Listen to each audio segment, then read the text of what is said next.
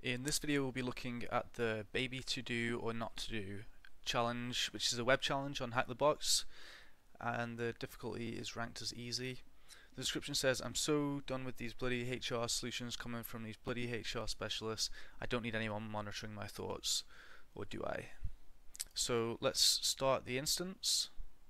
We also have some files we can download here. Let's uh, have a look see what we've got. Okay. So it actually gives us access to some files here. Um, it actually gives us access to the code to review. I'm not going to review that. I'm just gonna see if we can solve this just from looking at this site. Because whenever I solved it, I didn't, I didn't even notice you could download the code actually. Um, so if we go to the site, we have this to do or not to do, and we have um, somewhere here we can add. Let's view the source first of all.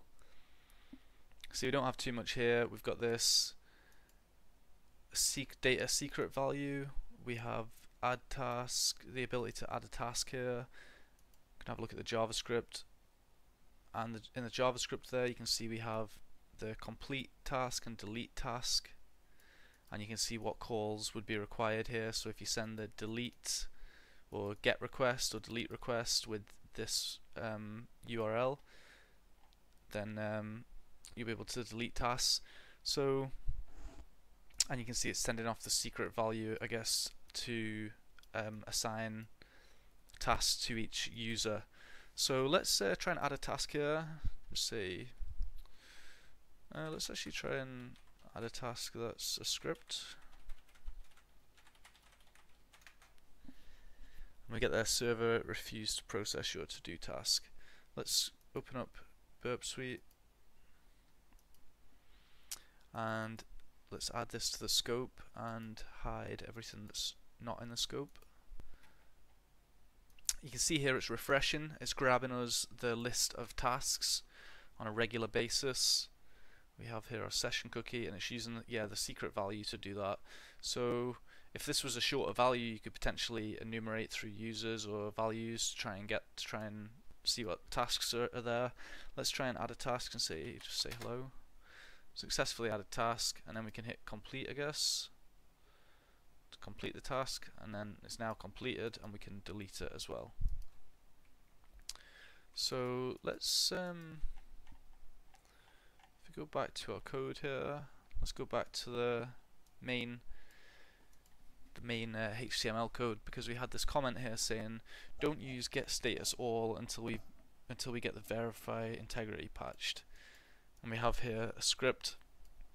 Const update is equal to get tasks for our user and then it calls update on an interval 3000 so that's the the get tasks that we're seeing and it's saying here don't use get, get status all. So this is um, just JavaScript code. Let's go and see if we can use an F12 let's go to our console. Okay get status is not not defined so we're not going to be able to run that. Um, let's go back to the code. Get tasks so let's try and do get tasks for our user. Undefined. Okay. Um, it said here don't use get status all. Let's try and get status all. Oh sorry, get tasks all.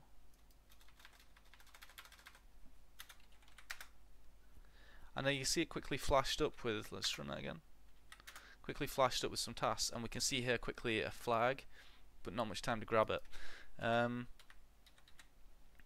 Okay, so the variable here, which is updating, is a const variable, and that's going to keep refreshing the page, getting the tasks for this user. Um, let's.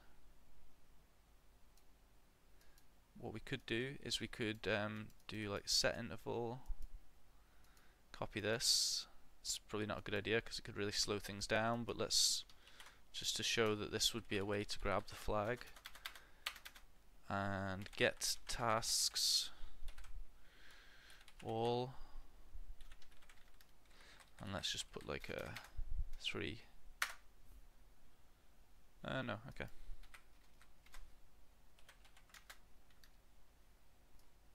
Um, okay, so it's still getting overwritten pretty quickly with.